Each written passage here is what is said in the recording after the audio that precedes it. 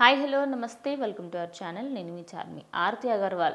తిను ఒకప్పుడు ఇండస్ట్రీలో ఉన్నన్ని రోజులు మంచి సినిమాలు చేసి అటు యూత్ని తన వైపు తిప్పేసుకున్న యాక్ట్రెస్ అని చెప్పుకోవచ్చు. రెండు వేల పదిహేను జూన్ ఆరున తను తుది శ్వాస విడిచింది. అప్పటి నుంచి ఇంకా దానికన్నా ముందు తన సినిమాలన్నిటికీ సంబంధించి ప్రతి ఒక్కరూ ఆమెకి ఫ్యాన్ అయ్యారు. అయితే ఉజ్వల్ అగర్వాల్ అనే ఒక అబ్బాయితోని పెళ్ళి చేసుకున్న తర్వాత రెండు సంవత్సరాలకి తను విడాకులు ఇచ్చేసింది. ఈ విషయం అయితే అందరికీ తెలుసు. అయితే పెళ్ళి తర్వాత విడాకులు తీసుకున్న వెంటనే కొద్ది రోజుల సినిమాలలో కూడా చేసింది.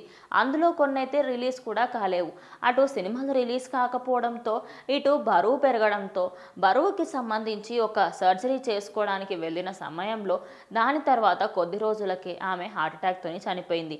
అయితే ఇప్పుడు రీసెంట్గా చంటి అడ్డాల ఒక ఇంటర్వ్యూలో మాట్లాడుతూ మేము అల్లరి రాముడు సినిమాకి ఫస్ట్ చార్మీని హీరోయిన్గా అనుకున్నామని చార్మి లావుగా ఉండడంతో మేము ఆర్తి అగర్వాల్ని మళ్ళీ తీసుకోవడం జరిగింది అంటూ చంటి అడ్డాల అయితే చెప్పుకొచ్చారు.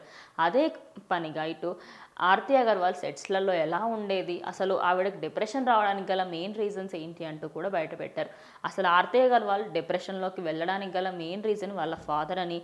ఆయన వచ్చారు అంటే చాలు ఆమె సెట్స్లలో కొంచెం కామ్ అయిపోయేదని ఆయన లేని సమయంలో చాలా సరదాగా ఉండేదని ఆయన కనిపించిన వెంటనే సైలెంట్ అయిపోయేదని కూడా చెప్పుకొచ్చారు.